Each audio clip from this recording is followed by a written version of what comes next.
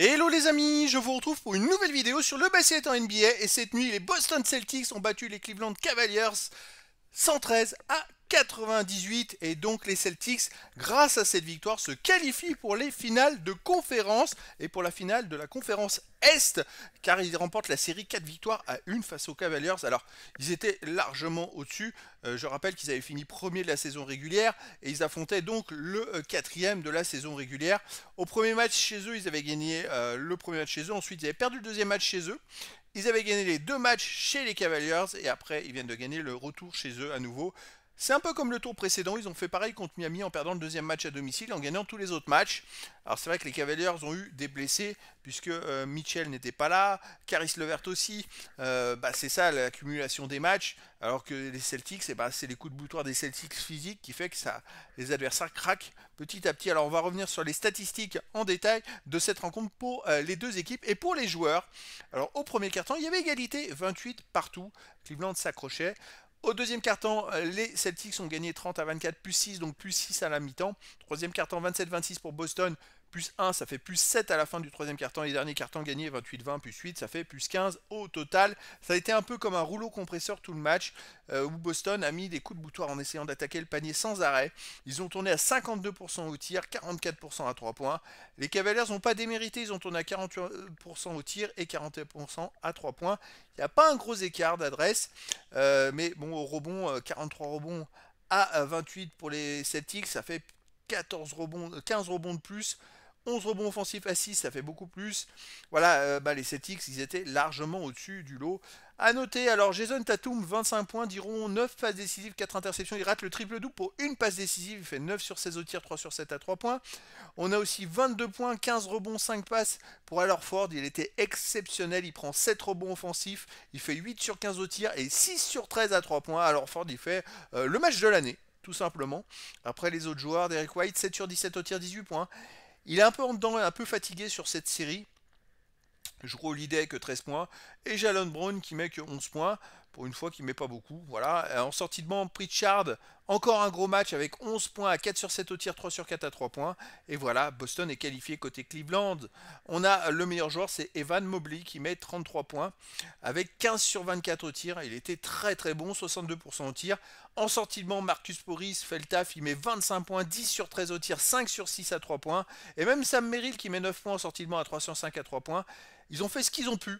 Je dirais, euh, c'est vrai que bah, quand il y a plusieurs joueurs majeurs qui manquent, surtout Mitchell, euh, en plus Caris Levert en sortie de banc, bah, ça devient compliqué.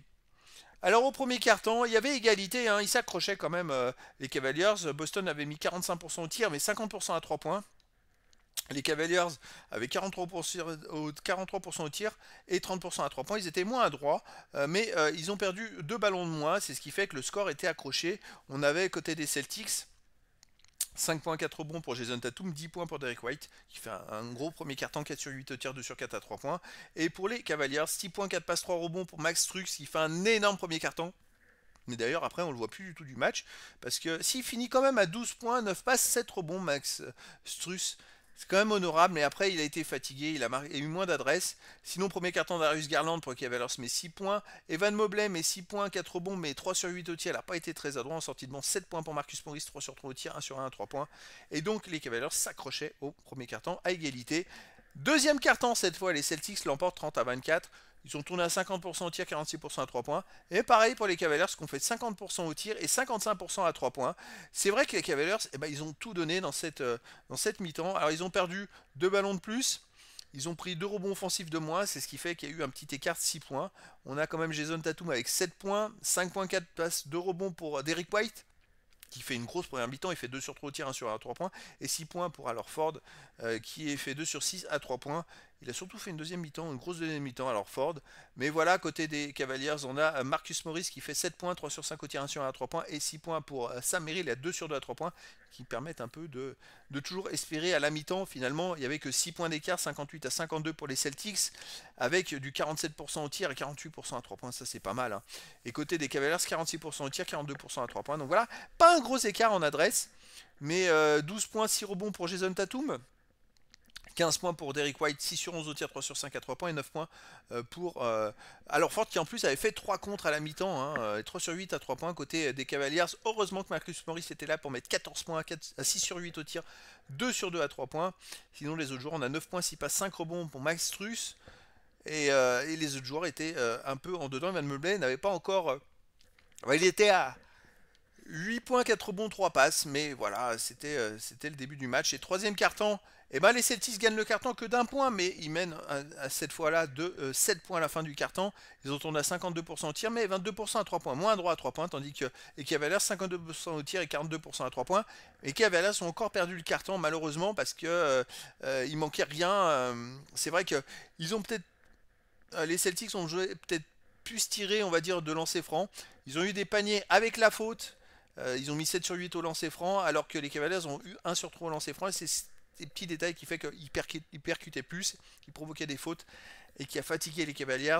On a quand même Jason Tatum qui met 10 points, 4 passes à 4 sur 6 au tir, 5 points, 3 rebonds pour alors Ford à 2 sur 2 tir, 1 sur 1 3 points, 5 points pour Pritchard à 2 sur 2 tir, 1 sur 1 3 points. Ça, ça pèse beaucoup côté des Cavaliers. 13 points pour Evan Mobley qui fait 6 sur 8 au tir et 5 points pour Marcus Morris qui fait encore 2 sur 2 au tir, 1 sur 1 3 points et ça mérite 1 sur 1 3 points qui met 3 points. C'est les joueurs qui surnagent côté des Cavaliers. Dernier carton, bah, cette fois les Cavaliers ont un peu craqué physiquement, même si Evan Mobley a été encore présent. Les Celtics ont tourné encore mieux, 64% au tir, 55% à 3 points. Les Cavaliers n'ont pas démérité, 47% au tir, 40% à 3 points. Mais voilà, c'était euh, l'écart était déjà là. On a 11 points pour Jrue 5 sur 5 au tir, 1 sur 1 à 3 points. 8 points, 9 euh, rebonds pour Alors Ford avec 4 rebonds offensifs, 3 sur 5 au tir, 2 sur 4 à 3 points. Il fait un énorme carton. Côté des Cavaliers, bah, celui qui surnage à nouveau, c'est Mobley avec 12 points, 5 sur 7 au tir. Et à nouveau Marcus Morris, 6 points, 2 sur 3 à 3 points. Il a fait un match monstrueux, Marcus Morris en sortie banc. Franchement, tous les cartons, il était dedans. En plus, il fait 2 interceptions et 2 rebonds euh, dans ce euh, carton. Et donc, en deuxième mi-temps, les Celtics l'emportent 55 à 46 plus 9 avec du 58% au tir, 38% à 3 points, alors que les Cavaliers ont fait 50% au tir, 41% à 3 points. Ils n'ont pas démérité d'un point de vue adresse. Hein. Franchement, ils n'ont pas démérité du tout.